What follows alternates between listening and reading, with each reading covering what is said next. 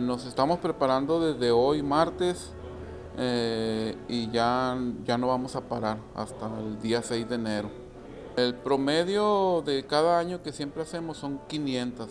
Espero que este año nos vaya mucho mejor.